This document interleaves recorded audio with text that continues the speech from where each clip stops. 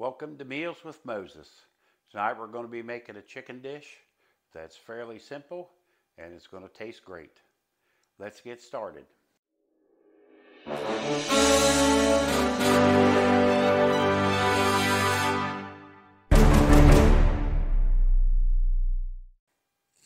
Okay, we're going to get started. The first thing we're going to do, we're going to season our chicken breasts. These are two pretty large chicken breasts that I cut in half. And that's to help keep the portion size down because they were way too much meat. Um, a regular portion of protein meat is four to six ounces. So I've cut these in half just to get them down. We're going to season them with the taco seasoning mix. This is just a taco seasoning. I bought at Kroger's. It's their brand. It's actually pretty good.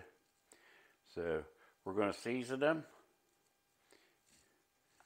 And then we're going to put them in our baking dish after we season them up. And uh, you don't have to worry. You just sprinkle much as you want on there, as little. Um, I like quite a bit on mine. So I'll probably use this whole pack. We just season them all up here and throw them in the pan there. I'm going to put a little more on this one. It don't seem to have enough. And uh, we're just going to stick them in this pan. Got to make them fit.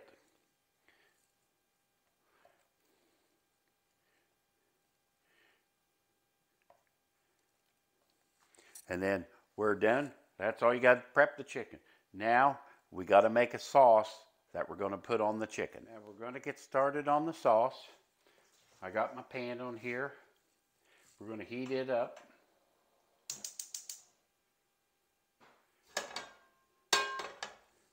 And we're going to put in the ingredients. Half a stick of butter.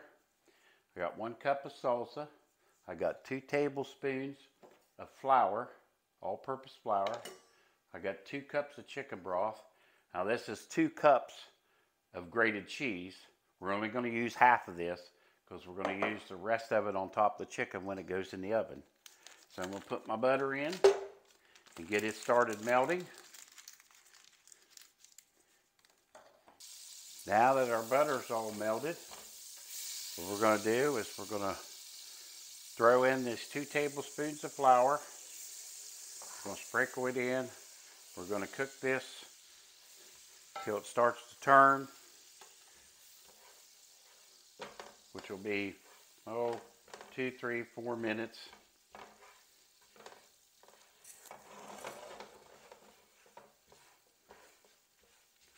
And uh,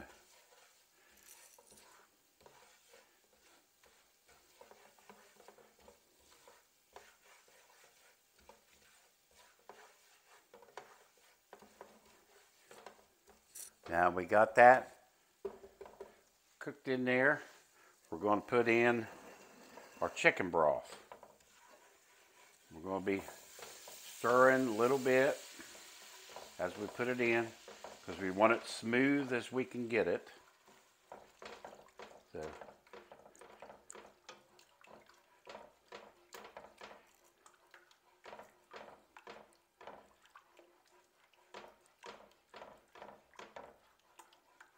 and we're going to I'm going to cook this around. I'm going to turn the heat up a little bit. I got the heat on about medium. We're going to stir this up. We want to break up all the clumps from the butter and the flour.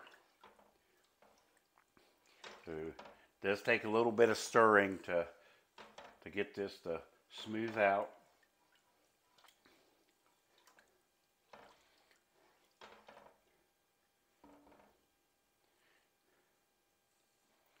There we want to get it up and we'll let that cook for a minute or two and then we'll be ready to add our next ingredient. Cooking for a couple minutes. We're going to, it's starting to thicken up a little bit. Stir it around there a little bit. While I'm over here, I'm going to go ahead and preheat my oven to 350 so we can get it preheated when we're ready to go. Okay, now what that is, we're going to put in about half of this cheese.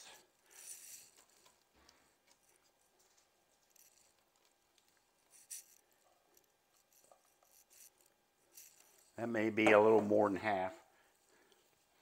And we're going to melt that cheese down. And get it melted down. This is going to be our sauce that once we go on top of the chicken.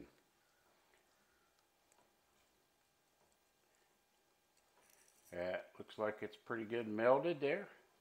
Doesn't take very long. It melts pretty quick especially if you use block cheese and grate your own. Um, you can watch my kitchen utensils video and I show you the cheese grater I use in it and it's pretty handy. But the block cheese melts a lot better than the packaged cheese. Okay, that's cooked down. Now, we're going to add one cup of salsa to it. Mix it up.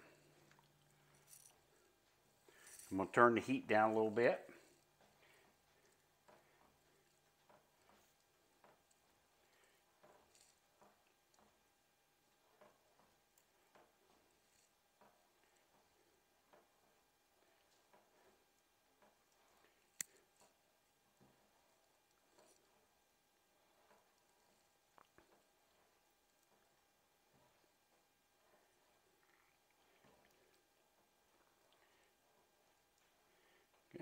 And I think our sauce is ready.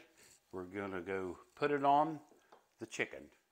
Okay, now that our sauce is done, I'm just going to take it and we're just going to pour it all over the chicken.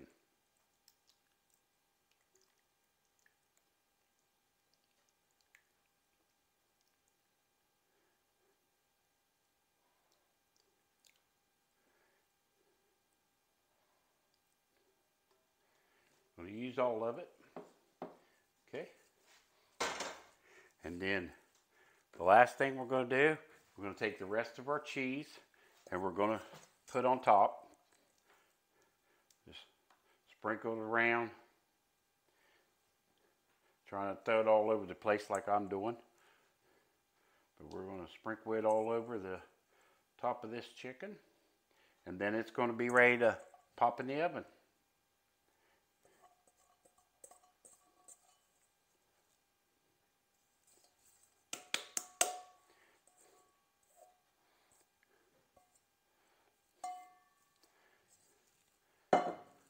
So now we're done. This is ready to go in a 350 degree oven for 25 to 35 minutes. Now we got the chicken in the oven. Another thing, I'm going to make some rice. I'm to turn this on, get this to a boil. This is uh, not just long grain rice, uh, one cup. It has been rinsed in water. I rinsed it out. You want to rinse your rice first as long as you're not using instant rice. This isn't instant rice. We're going to put it in the pan. We'll let it come to a boil and then we'll cover it and we'll simmer it for around 20 minutes and then when it's done we'll have it put on top of the, the chicken on top of the rice. Now, while our rice and chicken is cooking, we're going to prep our vegetables for the toppings. I got a bunch of green onions here. We're going to clean them up, chop them up. These, we're going to chop these up. You can chop them back far as you want. I mean, you can eat you can eat the green part. I don't use all the green part, but I do use some of it.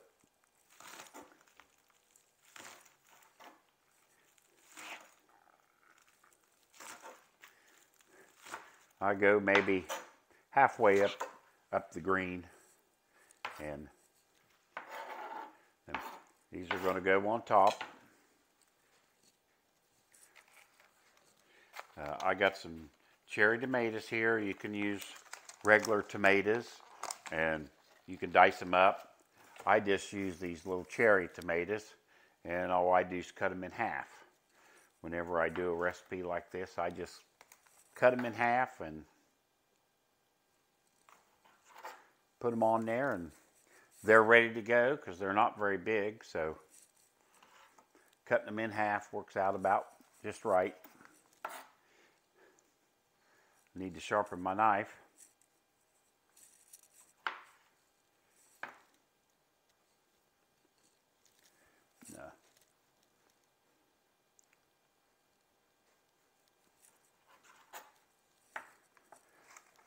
You can put a few or as many as you want. There's really no set amount. I think it said one cup diced tomatoes. I'm just going to cut up maybe a dozen or so. Put on there.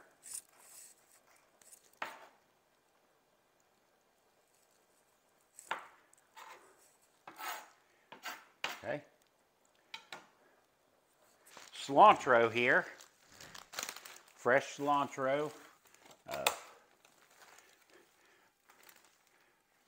all I'm going to do is pull some of this out.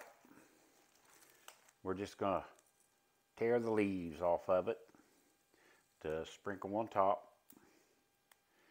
This you can use as much as you want or as little or you can leave it off. You don't have to use it. We like cilantro, so me and my son. So I usually try, I usually end up using quite a bit.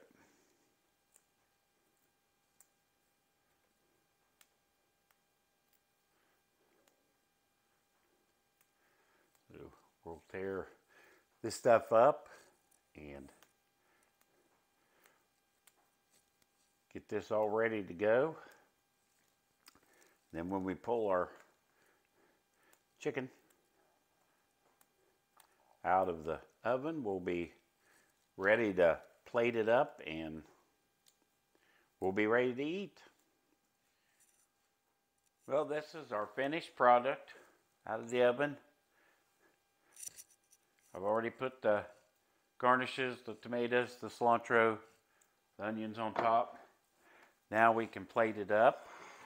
I'm going to use my half cup scooper and I'm going to get a half cup or so of rice out of there, maybe a little more. Okay. And then we're going to take the chicken breast and Put it right on top. And then we'll take our spoon, spoon some of the sauce right over top of the chicken and the rice. And there you have it. That's chili con queso baked chicken. With the rice included, it's about 560 calories and 40 carbs. You could add a small salad with it and two tablespoons of dressing.